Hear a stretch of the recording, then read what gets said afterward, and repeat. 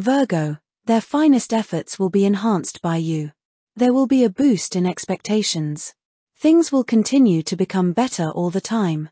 In creative professions, you will carve out space. Innovations are going to succeed. Their focus will be on discipline. There are indications of a happy journey. It's possible to hear good news.